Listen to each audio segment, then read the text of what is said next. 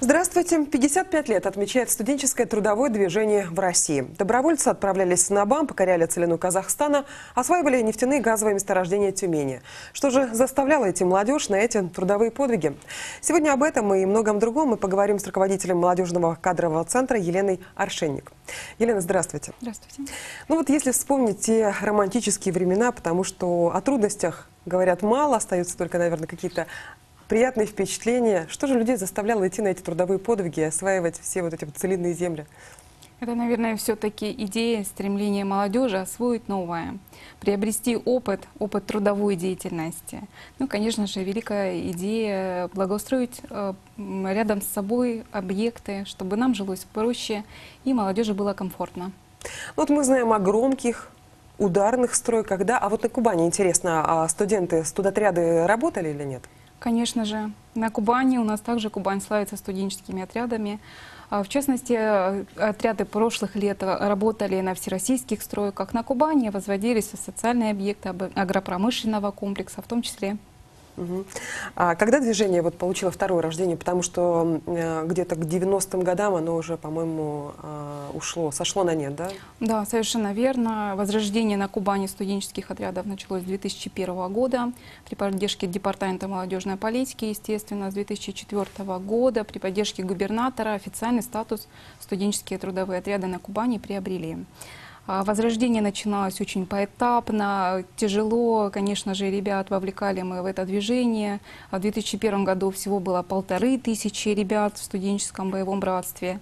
А, но на сегодняшний день это уже целая армия, больше 35 тысяч активных студентов. А что, неужели вот такая в стране а, необходимость возникла опять а, в трудовых а, силах да, студентов, молодежи? Конечно же, это огромная масса армии ребят, которые готовы, в принципе, за небольшую плату выполнять достаточно сложные объемы работ, потому что многие ребята работают по профилю своего обучения. То есть, э, обучаясь на инженера, ребята, как правило, работают угу. в строительных специальностях. Обучаясь а, по педагогической специальности, ребята обслуживают э, летние оздоровительные лагеря.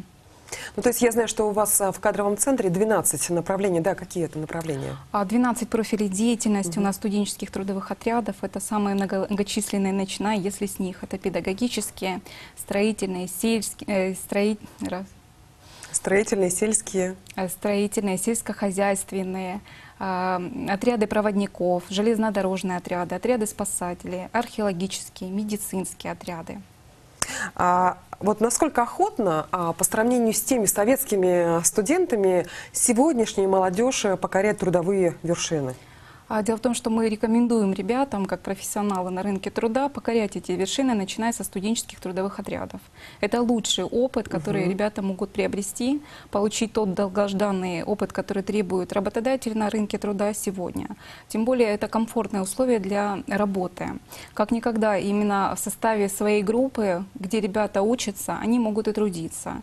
А, естественно, приобретается опыт э, руководства, работы в команде. Это очень здорово. Елена, вы сказали, что а, комфортные условия, но по сравнению а, с теми студентами, которые действительно ну, я не знаю, а, создали огромные объекты, да, по, mm -hmm. по всей нашей э, стране, бывшему Союзу, а, и там ни о каких условиях речи не шло. Что же сподвигло людей тогда идти на эти стройки? Сегодня эта идея, о которой вы говорили, она есть или нет? Идея остается. Идея все-таки а, достичь единого какого-то результата деятельности именно в трудовой области. А, конечно же, мириться теми условиями, при которых работали студенты прошлых лет, и этих, конечно, ребята у нас более а, благодаря вот э, все-таки развитию находятся в благоприятных условиях. А, Но ну, опять э, ребята не стремятся за комфортом, стремятся за опытом и опытом, наверное, межличностного больше общения. Ну вот с момента а, возрождения э, стройотрядов, да, что же возвели студенты? А, в частности, наши студенты работают на всероссийских объектах. Это Соловки, Мордовия, а, Казань. А, ну и, конечно же, Кубань может похвастаться, наверное, всероссийскими стройками на олимпийских объектах. Приложили, конечно же, свои руки золотые при построении порта Тамань. В каждом регионе сейчас России свои стройотряды, студенты трудятся. Но вот насколько, если сравнивать с другими регионами, у нас на Кубани развито это движение? А, Развита, наверное, можно сказать, в полной степени. Если мериться с другими регионами, то Кубань занимает по численности бойцов студенческих отрядов второе место. Это наше достижение, это именно достижение наших ребят. То, что ребята стремятся пополнить это движение, развивать его и, конечно же, на пользу себе. Я знаю, что вы собираетесь в Москву, в Кремле будет юбилейная конференция. Если подводить итоги кратко, то что можно сказать о своей работе? Именно качество работы позволяет нашим студенческим отрядам конкурировать на рынке труда по отношению к обычным профессионалам.